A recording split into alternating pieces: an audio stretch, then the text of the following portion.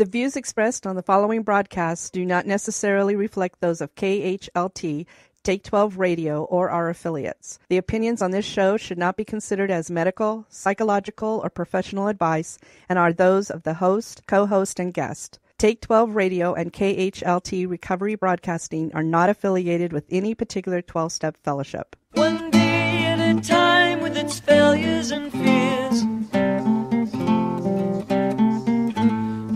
Of pain and burden of care, we must meet.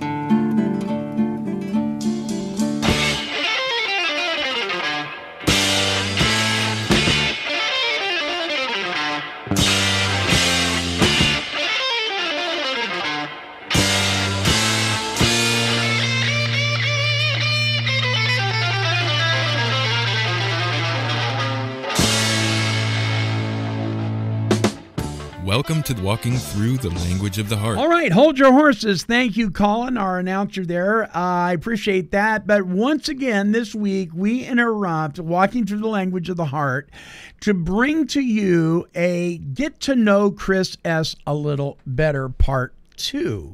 And hopefully next week we'll be back with uh, a new episode of Walking Through the Language of the Heart. If you'd like to get caught up on that series, uh, we've done like 45 episodes so far. Visit us at take12radio.com. Click on the Recovery Workshops banner, and there you'll find Walking Through the Language of the Heart as well as other workshops that we've done with Chris. Okay. Um, so this week, Chris is going to be talking about the chapter in the Big Book of Alcoholics Anonymous entitled The Family Afterwards. Here's Chris. Good evening, everybody. My name's Chris. I'm an alcoholic. Uh, it's great being here tonight. Uh, I look forward to coming here all day. Uh, I see some new faces out out there tonight, and uh, just briefly, I'll talk a little bit about this meeting. This meeting is kind of different than uh, the normal meeting that you're going to run into out there in uh, uh, North Jersey AA. Uh, we specifically uh, try to stay very focused on uh, the solution, uh, the solution to alcoholism, the solution to uh, our, our spiritual bedevilments, uh, and all the other things that tend to plague an alcoholic. Uh, we, we tend to stay focused on the solution uh, that's found in the book Alcoholics Anonymous.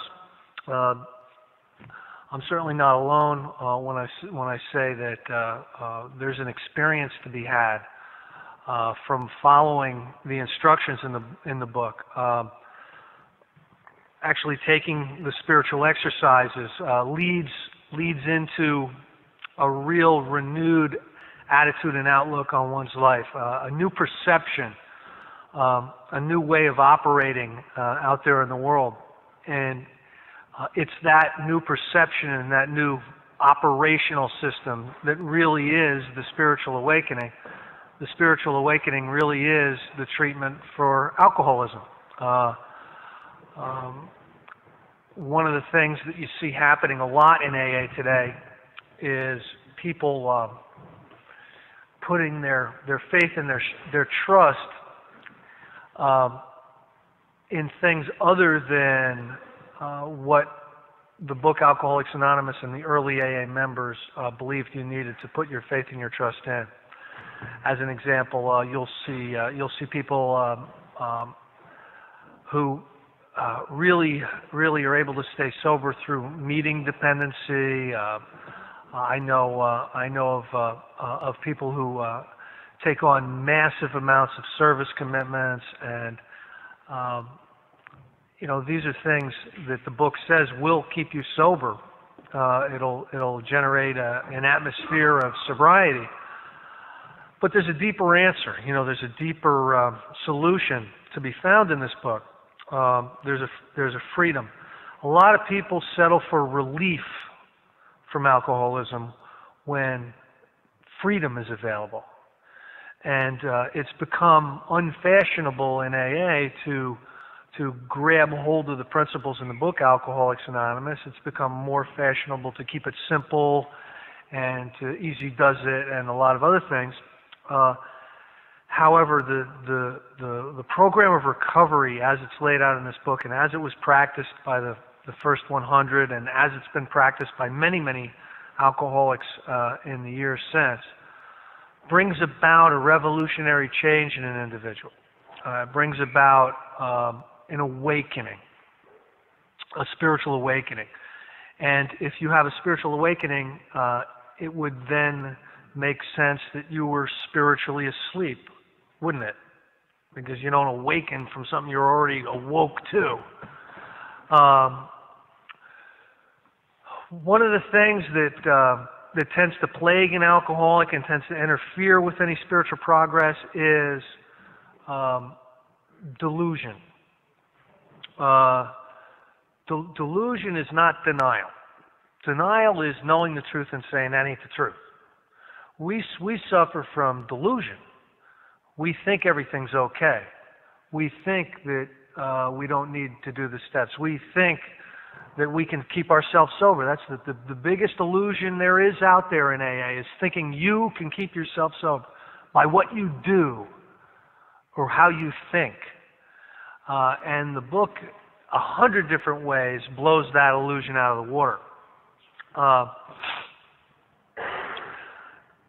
I was uh, I was at a ho- at the hospital. My brother was uh, undergoing some some uh, bypass surgery this week, and it just so happened that two alcoholics were in the hospital with him.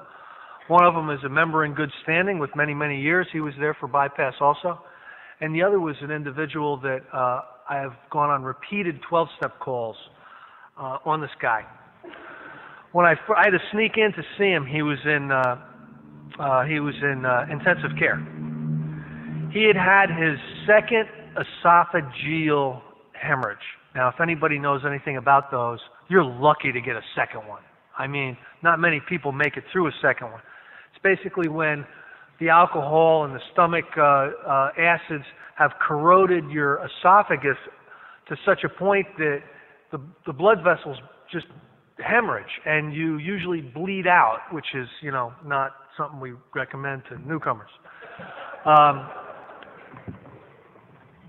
this guy just gets done having his second esophageal, and he's laying in bed, and uh, and me and uh, and his sponsor show up, and we start talking to him. And uh, first thing I said to him was like, "Look, pal, you are in way more trouble than you think you are. Whatever you're thinking right now, you're minimizing like a sumbitch. You are in real trouble. You're in way more trouble. You know, you're really in trouble." And he goes, "Well, I know." The doctor told me if I have one more drink, I'm going to die, so I think I got it this time. And I said to him, If you think the doctor telling you that if you die the next time you drink is going to keep you from drinking, you haven't learned anything. You haven't learned anything. You can't keep yourself sober, even if it means you're going to die, unfortunately. And uh, he looked at me funny. And again, some people just don't get it. Sometimes they need an experience, a spiritual experience to part the clouds long enough for them to really see the truth because they're, they're in delusion. Because after I went through this whole song and dance about how powerless he is and how he needs to plug into AA and he needs to do this and he needs to work the steps and he needs to find God and he needs to get a spiritual experience, he goes, I just want to run something past you. how about my parents are up in Maine and they got a really big house. How about if I go up there and convalesce? You know, I'll st- uh, there's no alcohol up there. I'm like, yeah, there's no alcohol in Maine. All right. I'm like, I'm like, I don't think so. I think you're heading right back to Happy Hills, where where they can lock you away, where you where you won't be able to hurt yourself or anybody else around you. It's Happy Hills time. And then when you get out, hopefully, hopefully you'll have in your consciousness the understanding that you need to come back to Alcoholics Anonymous, grab a serious sponsor, grab them by the shirt, and say, just tell me what to do. I don't care what it is, I'll do it. And if you have that kind of willingness, then maybe, you know, maybe your esophagus and you uh, might be able to make it through the year. Otherwise, uh, uh, you and your esophagus are going to are going to have an awful hard time. Um, so I truly believe that there's a lot of delusion going on. And um, the insanity that they talk about in the second step, I believe that's thinking anything but a spiritual awakening will treat your alcoholism. That's the insanity that they talk about in the second step that we need to be restored to. Um, tonight, we're going to be going over the family afterward.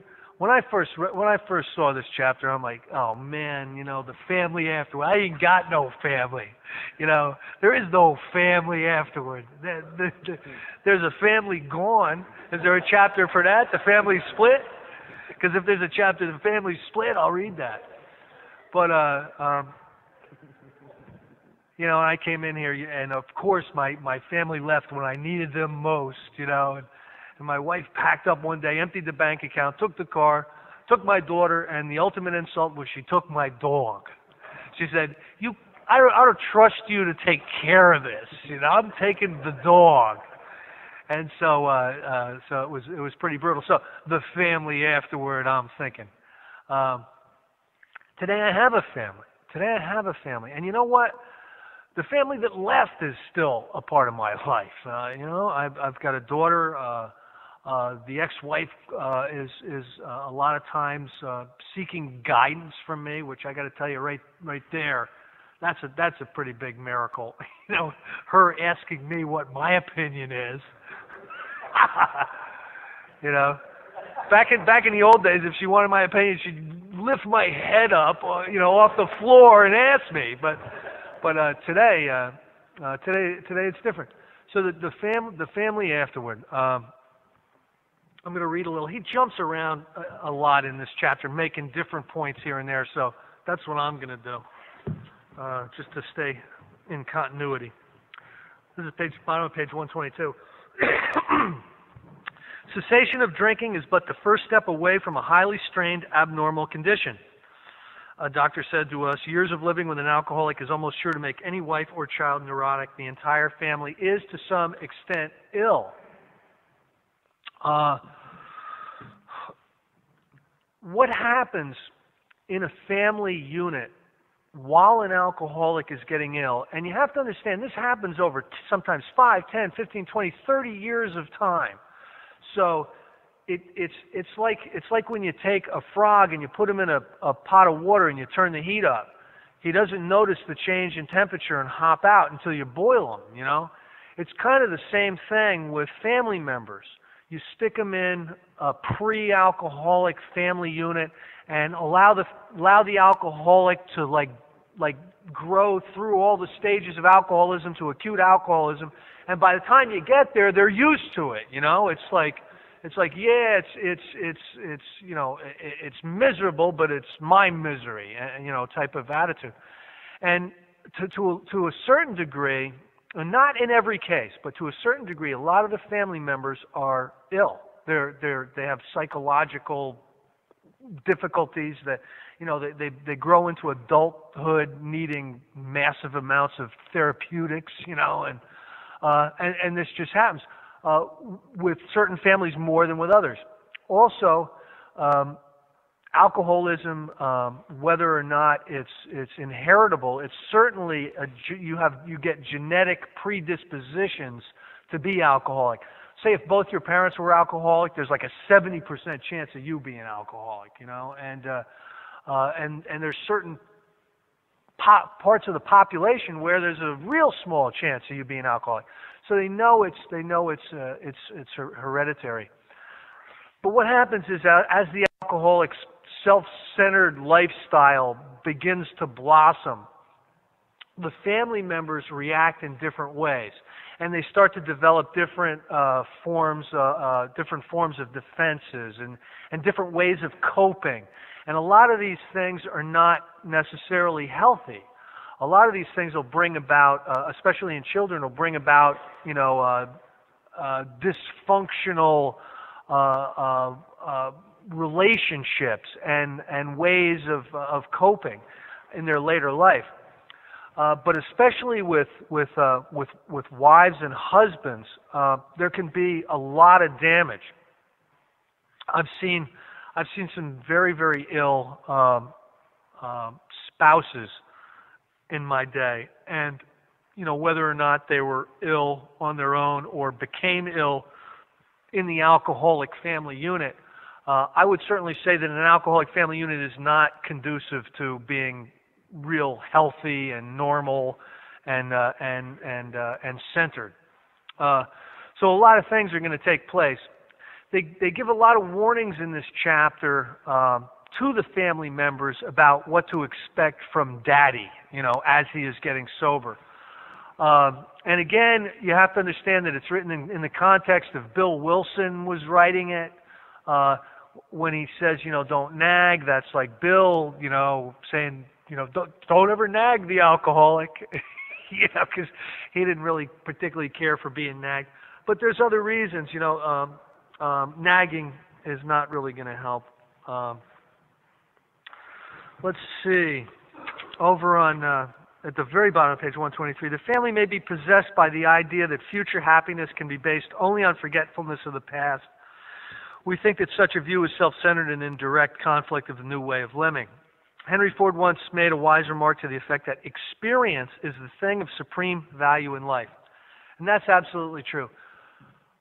The negative experiences that I've had to go through that have caused me emotional pain in my life have been the things that have really uh, been the maximum of, of maximum benefit uh, to me. I'll give you an example to do something really humiliating and get and get uh, uh, and get nailed for it. Uh, that would motivate me to not do things that would humiliate me.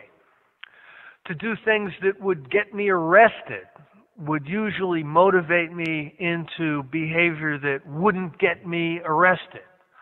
Uh, you know what I'm saying? So a lot of times, uh, a lot of times the the prices that I paid for uh, my aberrant behavior was the exact thing that was of benefit to me because it motivated me uh, into and and being an alcoholic and suffering suffering from untreated alcoholism after putting the bottle down and going to a quadrillion AA meetings and driving people to rehabs and going to the diner and having 55 phone numbers and being the secretary at a meeting and you know all that stuff i was still dying of untreated alcoholism.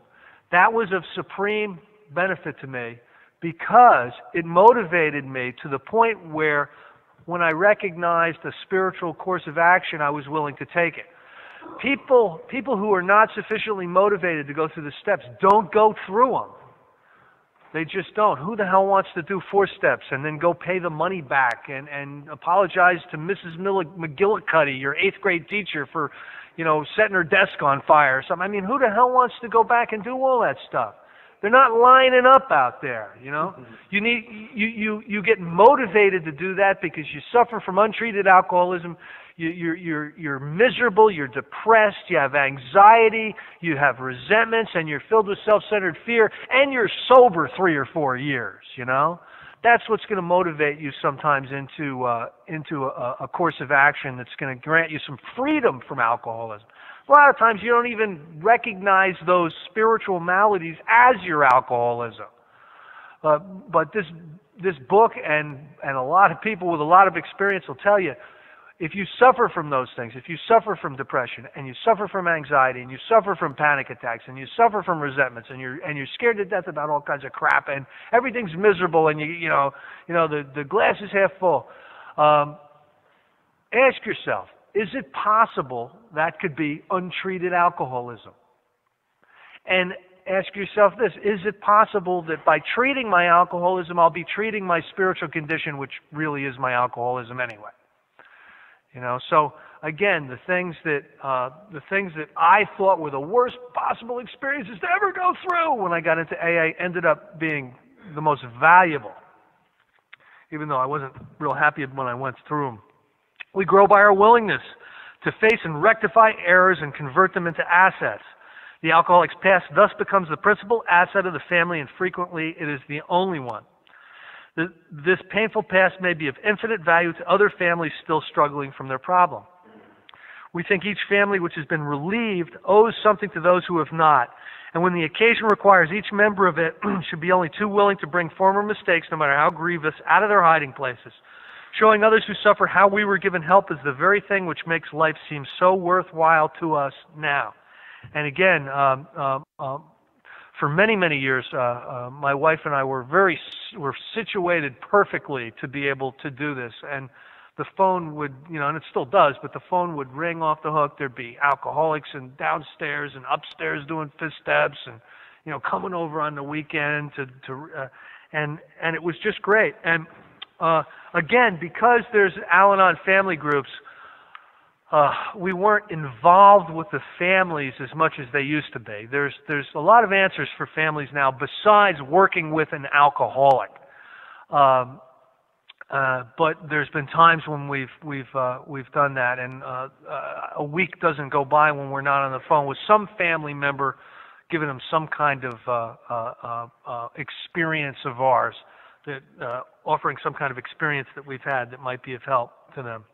Cling to the thought that in God's hands the dark past is the greatest possession you have, the key to life and happiness for others. With it, you can avert death and misery uh, for them.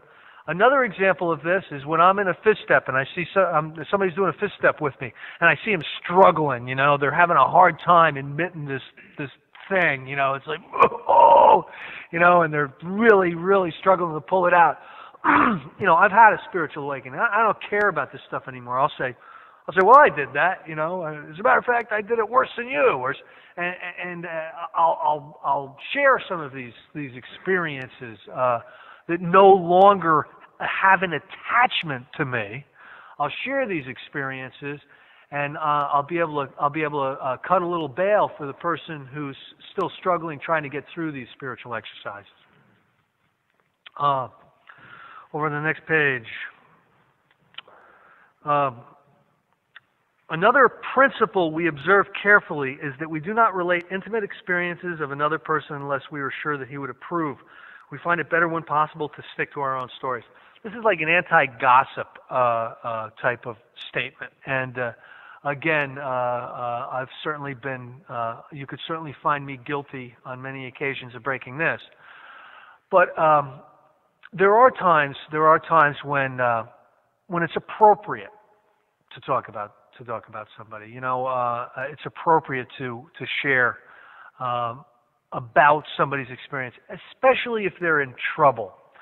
One of the very first meetings I ever went to uh, was way back, way back. It was the late '80s, and this guy came into the room, and he stuck his hand up and he said, "I'm coming back," and it was absolute hell. It was absolute hell. I can't believe it. I've lost, lost my family. I've lost my license. I've lost my job. Oh. And somebody shared right after it. And you know what they shared? They shared, you know, I was watching what you were doing. I was watching, and you were headed right out the door. I could see it coming. It's no surprise to me. Guess what happened after the meeting? The guy friggin' jacked that guy up and said, Why the hell didn't you tell me if you saw me on the way out the door? You know, what's the matter with you? Do you know what happened to me? Why didn't you talk to me? And uh, um, I, I learned I learned from that lesson. You know what I'm saying? Not to not to share that after somebody's. Oh yeah, I knew you were coming back. I'm, I'm not going to do that.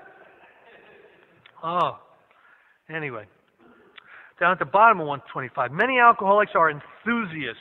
They run to extremes. No. Hmm.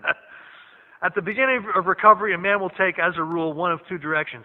He may either plunge into a frantic attempt to get on his feet in business, or he may be so enthralled by his new life that he talks or thinks of little else. In either case, uh, certain family problems will arise with these. We have had experience galore. I have seen many people come in and they just want to make up for lost time. They just want to make up for lost time. They'll start working 14 hour days, you know, they'll, they'll start doing all the things that they think they should have done, and they'll forget uh, they'll, they'll allow what AA has given them to take them away from AA. And you want to be sure not to have that happen. You don't want what AA has given you to take you away from AA. Because uh, a lot of times what happens is you lose everything. You know what I mean? If if uh, if you concentrate completely on business, you'll be at a business function and uh, you will get struck drunk. Another one of those lip flapping uh, party lion, uh, uh, horse crud things that you hear all the time is you don't get struck drunk. Now, on one level, on one level, I'll buy that. I'll say that the the drink happens after a series of events takes place in in and around your spiritual condition. Absolutely. But I'll also say you you don't always see it coming. You don't always see it coming because there's delusion. You think you're okay. You think you're keeping yourself sober. You think everything's fine. But you haven't been concentrating on the spiritual program of recovery. You're not sponsoring anybody. You've missed a bunch of meetings. You haven't taken a service commitment since the 60s. Uh, and all of a sudden, geez, I, I, I got drunk. I was, I, you know, I, I was at this party. I wasn't even thinking of drinking. You know, somebody offered me a rum and coke. I just took it and I drank it. And, and, and ten minutes later, I realized what I did. And, and I hear that a lot in meetings. And I believe the people. I don't believe they were setting themselves up by planning the drink. Sometimes you do, but sometimes you get struck drunk. Sometimes, sometimes, uh, sometimes a vodka bottle pops up out of the bushes and uh, and you you end up uh, you end up lizard-eyed, and uh, that's just you know it's because you've you've fallen short on the spiritual program of action. But again, you sometimes you don't see it coming. Uh, we think it dangerous if he rushes headlong into his economic problem. Another thing I see, and this was this was uh, expressed best by the Cafe Josephine AA Coffee Clutch of about two or three years ago. Uh, there was a number of uh, number of friends of mine who got sober, uh, and they got so sober and so spiritual they couldn't work. You know, you ever you ever meet somebody so spiritual they just they can't work? It's just too much. It's like I'm I'm spiritual. I'm going to a meeting. I'm praying and meditating. You know, I'm going to the Loony Noony over in Millington. Uh, uh, so so they get so they get they're they're so they end up being so heavenly they're no earthly good to anybody and uh and again that's that's the other end of the spectrum you know what i mean that's the other end of the spectrum uh one of the one of the, the operational uh, methodologies of Alcoholics Anonymous is finding a balance, finding a healthy balance in a number of things. You know, um, I, I am way prone to being out of balance. Uh, just give you some for instances. Uh, I love music. Uh, I love to get a new CD. You know what I'm saying? Has anybody in here? Did anybody in here ever see my music room? Somebody walked in there and they said, "This is this is the this is a perfect example of obsessive compulsive. This is unbelievable." I had I had like 15 I had 15,000 CDs in a period of about 6 years. You know, I, I would I would buy almost more than I could possibly listen to. Um, there's people that go to the gym seven days a week, 15 hours a day, and and you know they look like Arnold Schwarzenegger. You know, and then when they when they pick up a crack pipe, you know, they wonder what happened. They were so healthy. You know, it's it's uh, and they'll be the deadest healthy guy, you know, in the rooms. But um, you know, again, uh, an- another another way that uh, that I got uh, I got I, I'm a runner, you know, so uh, I run, and uh, uh, there's a there's a bunch of people that uh, are in the group with me, and we all run, and and we were doing four milers and six milers, and marathons, and and uh, uh, April 2nd, uh, we're running. Uh, it's called the River to Sea. It starts at Milford on the Delaware. It goes down to, to Lambertville. Then it goes across the state to the Manasquan Inlet. It's a 92 mile relay marathon. Yeah? So we're we're a little bit nuts with uh, with running, and I, and I have to find some balance there. And, I, and I'm uh, now that I've said that, it's balance time. I'm afraid. But anyway. Uh, we need we need to we need to make sure that the spiritual part of uh, of our life remains paramount. Uh, you know, whatever you put in front of AA, uh, you can lose. Um, here we go. It's of little use to argue and only makes the impact. The family must realize that dad, though marvelously improved, is still convalescing. They should be thankful he is sober and able to be uh, of this world once more. Here's another area where the family can be at fault. You know, uh, you get sober, all of a sudden they want everything to be perfect. Now that you're not drinking, everything's going to be fine. You're going to the PTA. I want you to trim the rose bushes. You know, you need to paint the basement. And what are you doing running off to those meetings? And who the who the hell is who? Somebody called today named Bunny asking for the the Serenity Group. Okay, who the hell was that? And uh, uh, and they'll uh, you know they'll they'll they'll, they'll start uh, they'll start pressuring on you to uh, to get to get your act together a little bit. Uh, again, if I'm able to, and, and if I'm in a position where uh, where I can counsel a family, I will basically tell them you got to lay off for a while. You know, you're, you're going to be lucky. The statistics are against this individual surviving. You're going to be lucky if they if they stay sober. Don't discourage anything that has to do with their recovery, please.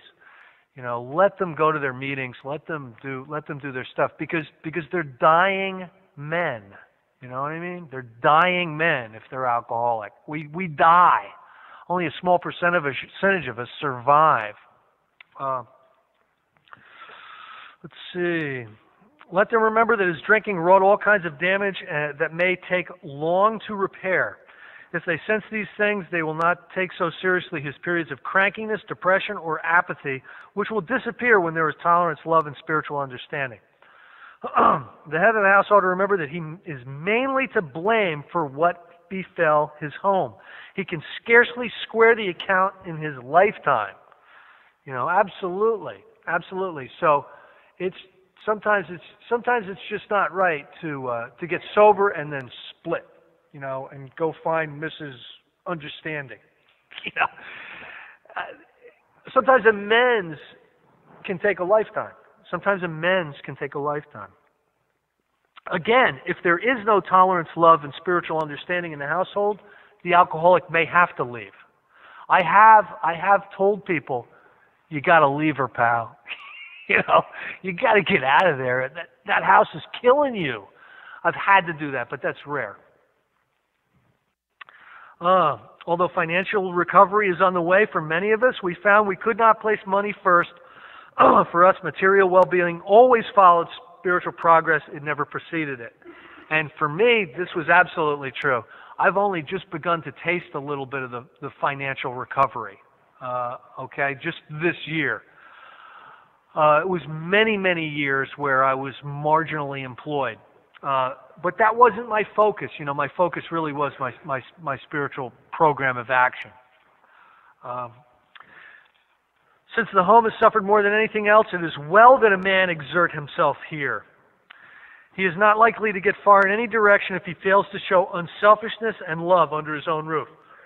Again, these are wonderful prayer principles. They talk about practice the principles in all your affairs. Well, you find a lot of the principles in these chapters. And practicing unselfishness and love under your own roof. Uh, I'll tell. I'll tell you what this week, go home and practice nothing but unselfishness and love under your own roof, and then get back to me. And let me know how it went. Okay? Uh, it's hard to do. It's hard to do. A lot of times, the people in our family know how to aggravate us, and you know all kinds of uh, of old behaviors uh, uh are, are are prone to uh, uh, to rear their ugly head. It's difficult. But when you see somebody that's able to do this, you know they've recovered with an E day. You know, they've recovered. They're not slowly recovering. You, ever notice the people that say that identify themselves as slowly recovering alcoholics aren't? It's just something I've noticed. Of course, I don't judge. Anyway, as each member of a resentful family begins to see his shortcomings and admits, and admits them to others, he lays a basis for helpful discussion. These family talks will be constructive if they can be carried on without heated argument, self pity, self justification, or resentful criticism.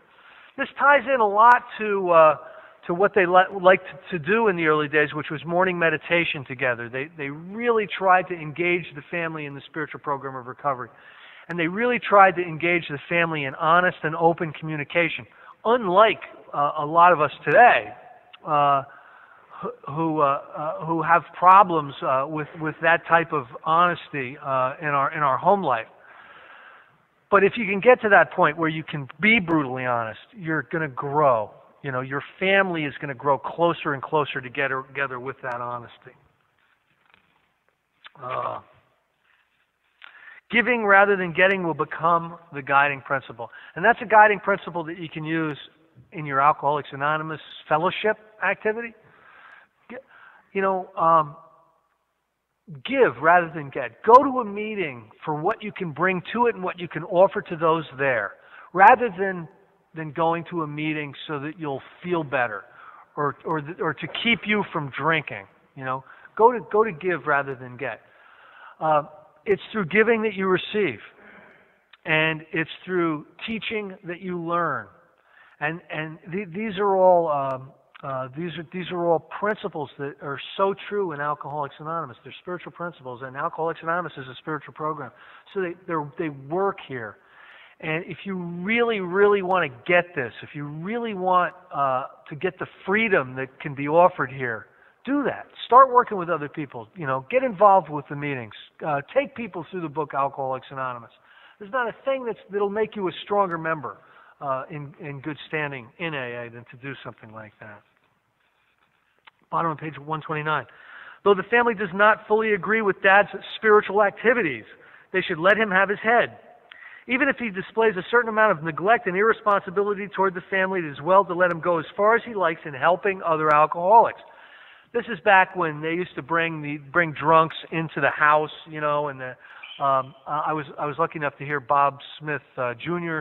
speak not long ago, uh, and he talked about when he would come home, he could smell the formaldehyde, and he knew that he didn't have a bedroom anymore. And they would just they would just uh, bring these bring these alcoholics into the house, and you know, uh, uh, and we we've we've done that, and my wife and I have done that at various periods of time in our life. Um, we're not really able to do it uh, where we're living now, uh, but uh, uh, unless the alcoholic stays out in the shed, which I'm not ruling out as a possibility. Uh, but uh, uh, but that you know, and I'm telling you, as the as the detoxes and the rehabs close, you know, be open to that, people. I mean, don't don't say not in my house. I mean, please be open to it. Uh, you may save someone's life by doing that someday. Um, during uh, those first days of convalescence, this will do more to ensure his sobriety than anything else for him to be around alcoholics and even working with alcoholics. And again, uh, you know, one of the things that I used to hear uh, that I couldn't stand, uh, I believed it for a while, like I believed a lot, a lot, a lot of the the wrong information that you get in AA. But I believed that you needed to have a year before you could sponsor somebody. Okay, that's what they told me when I was brand new. Don't sponsor anybody for a year like some magical thing will happen at day 365 where you'll all, all of a sudden automatically not kill the person or something, you know? Uh, it talks about in working with others, no, nothing will so much ensure your immunity from drinking than intensive work with other alcoholics. It says in here, in your, during the first days of convalescence, nothing will do more to ensure his sobriety uh, than to uh, than to help other alcoholics. Um, as soon as you can start to offer something to somebody, do that. It's it's the spirit of service. It's the spirit of giving. It's the spirit of of uh, helping another alcoholic that that offers uh, offers so much power uh, into your into your program, uh, into your uh, spiritual condition. It's it's unbelievable. Though some of his manifestations are alarming and disagreeable, we think Dad will be on a firmer foundation than the man who is placing business or professional success ahead of his spiritual development. He will be less likely to drink again, and anything is preferable to that, if he spends time working with other alcoholics. Those of us who have spent much time in the world of spiritual make believe have eventually seen the childishness of it. This dream world has been replaced by a great sense of purpose, accompanied by a growing consciousness of the power of God in our lives. That sentence means so much to me today, so much to me this year, you know, where I've been growing this year, because uh, I continue to practice the principles. I'm going through the steps right now. Uh, uh, an individual is taking me through the steps right now, and it's it's a new experience. One more time, you know. I'm not one of these people that believe you go through the steps and you're fine the rest of your life. All you have to do is pray and meditate every once in a while and help an alcoholic. I really think that the principles need to be uh, uh, um, recycled through your life, and and I'm doing that today, and I'm so glad that I am. because that's about where I am. I am really, really understanding uh, the power of God in my life. I'm coming to uh, a deeper understanding of that. Uh, that just how much uh, how much God influenced my influences my life today. We've come to believe that He would like us to keep our head in the clouds with Him, and that our feet ought to be firmly planted on the earth. This is where our fellow travelers are. This is where our work must be done. These are the realities for us. We have found nothing incompatible between a powerful spiritual experience and a life of sane and happy use, usefulness. That's unbelievably true for me. One more suggestion. Whether the fam- family has spiritual convictions or not, they may do well to examine the principles by which the alcoholic member is trying to live. They may, be, be, may do well to practice some of those principles also, but at least to examine them. Uh, they can hardly fail to approve these simple principles, though the head of the house still fails somewhat in practicing them. Nothing will help the man who is off on a spiritual tangent so much as the wife who adopts a sane spiritual program, making better practical use of it. And I think in Bill and Dr. Bob's cases, their wives did work better programs than they did. Uh, and uh, it probably did help them. Uh, help them over 131. Father, coming suddenly to life again often begins to assert himself. This means trouble unless the family watches for these tendencies in each other and comes to a friendly agreement about them. Here's something that happens a lot. Uh, dad has been drunk for 10 years, and uh, and mom has been taking care of the finances, uh, taking care of the school, making sure the kids got to soccer practice, taking care of everything, right? And what dad was able to do was go to work, bring home a paycheck, and get drunk like like like a goat every night. Okay. All of a sudden, he's not drunk anymore. He starts looking around. He starts noticing the checkbook register. You know, noticing the report cards, noticing uh, uh, the credit card uh, debt, and starts saying, "Hey, you know, what about this? What about this?" And it's going to bring about some heavy duty resentment. It's going to bring about, you didn't goddamn care about this stuff for the last 10 years. You were drunk. Why are you sticking your nose in it now? And, uh, and I've seen this happen a lot. Uh, uh, again, you know, if the family can, can work through this uh, uh using some spiritual principles, it will help. Bottom of page 131. At the very beginning, the couple ought to frankly face the fact that each will have to yield here and there if the family is going to play an effective part in the new life. Father will necessarily spend much of his time with other alcoholics, but this activity should be balanced. New acquaintances who know nothing of alcoholism might be made and thought for, thoughtful consideration given of their needs. So it's telling us don't isolate in AA, don't hide in AA. There's a world out there. There's there's social life out there. There's other people out there. You know, don't hermit yourself in Alcoholics Anonymous and not stick your head out the door. The problems of the community might engage attention. Though the family has no religious connections, they may wish to make contact or with or take membership in a religious body. Uh, again, uh, as far as religion is concerned, here's what our co-founders did. Uh, Dr. Bob became religious after he got sober. He went back to church. There was a pew you could always find him in every single Sunday. Bill Wilson never became religious. He studied religions, but he never became religious.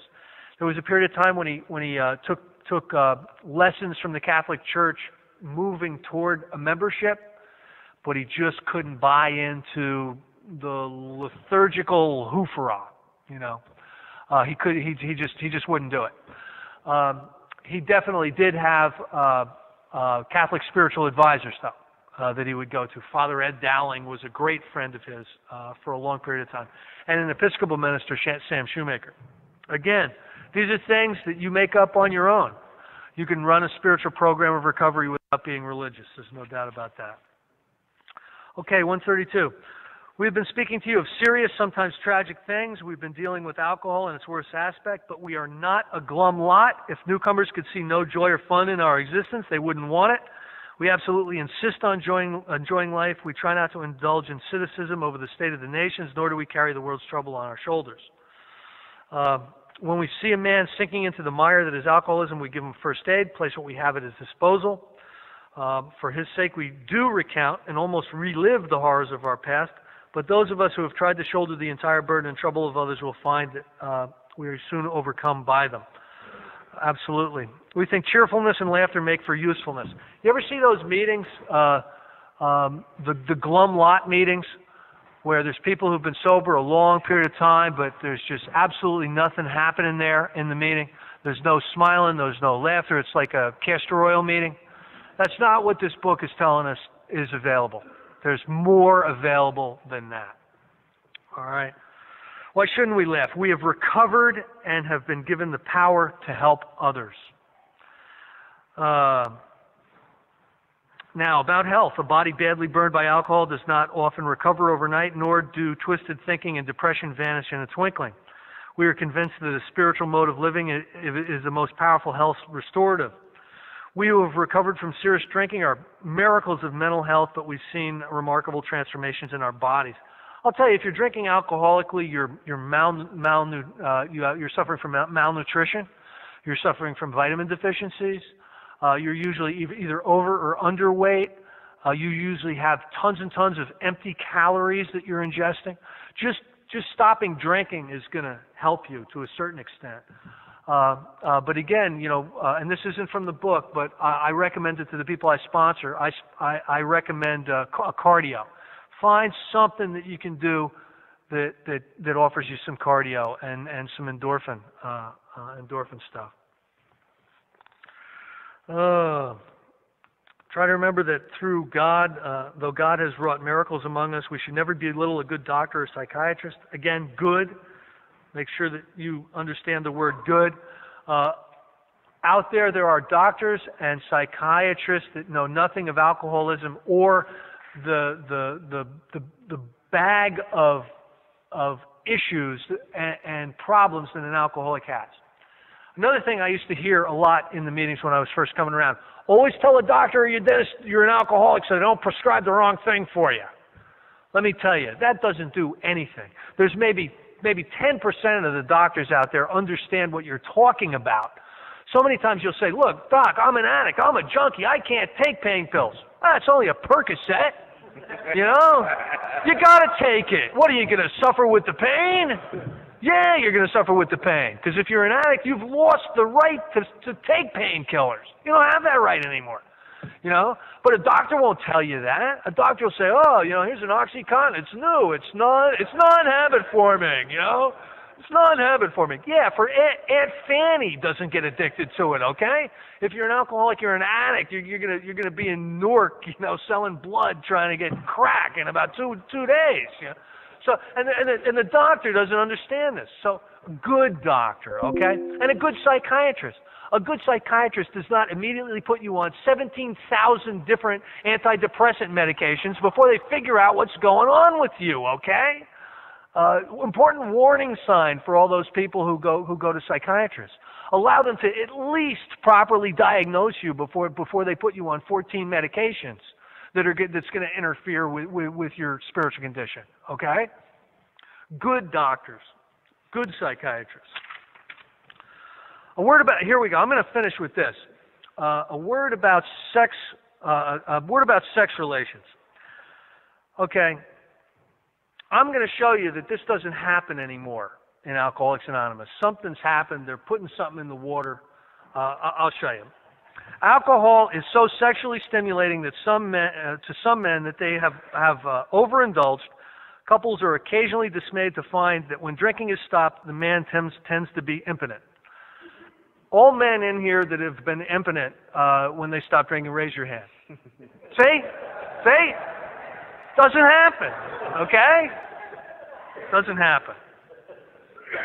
Uh, whether the family goes on a, uh, on a spiritual basis or not, the alcoholic member has to if he would recover. All right, well, that wraps it up for the family afterwards, being presented by our good friend and Take 12 Recovery Radio contributor, Chris S. Now, uh, if all goes well, we plan on bringing back Walking Through the Language of the Heart, the next episode, next Friday. Uh, we'll let you know, though. We'll keep you informed. Okay? So that's what we're looking forward to. Listen, uh, we have all sorts of workshops at Take 12 Recovery Radio. Simply visit our website at take12radio.com and spend some time digging into the pages there. You will find literally hundreds of broadcasts that we have created for you, all for fun and for free. Until our next broadcast, this is the Monty Man along with the rest of the Take 12 Recovery Radio family, and we are wishing God's perfect serenity for you.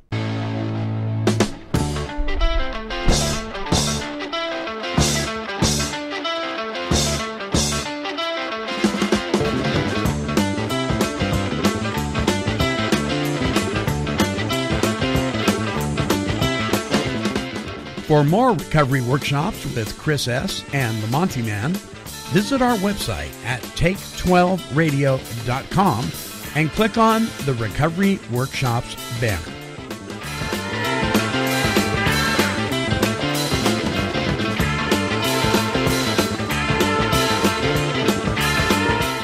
This has been a broadcast of Take 12 Recovery Radio and KHLT Recovery Broadcasting.